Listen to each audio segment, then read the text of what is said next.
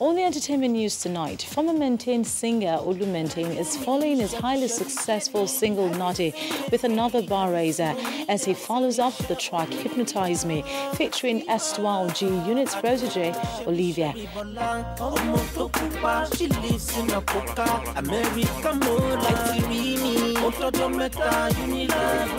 The slow tempo track is produced by Grammy Award winning Haitian born music composer and producer Jerry Wonder from the Fugees fame at the Platinum Studios in the United States of America.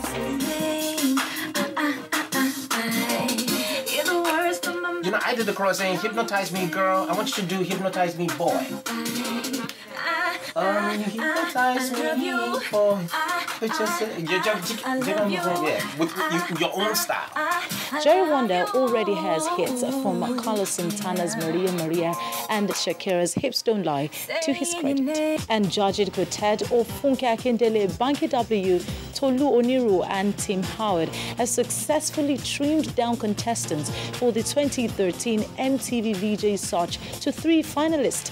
After weeks of monitoring auditions and witness different hopefuls have a go at the competition, which attracts a top prize of a brand new car and 10 million naira contract. The three finalists are Kemi Owatemi, Ada Ogunkei, and Okegwale Eizuji. The winner will be announced by the end of the month.